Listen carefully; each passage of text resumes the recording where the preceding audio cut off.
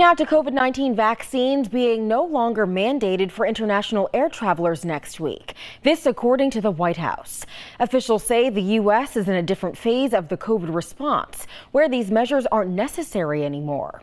The COVID vaccine will also be lifted for Canadians crossing into the U.S., allowing for cross-border travel to be easier. The CDC says a single dose of the Pfizer or Moderna vaccine will be enough to fulfill the testing requirements for travelers. I about getting rid of the requirement.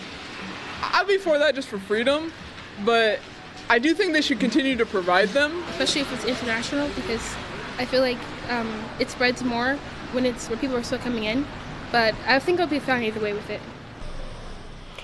Data show there's been a 95% decline in COVID-19 deaths since January 2021 and a 91% decline in hospitalizations. By May 11th, the mandate should be lifted.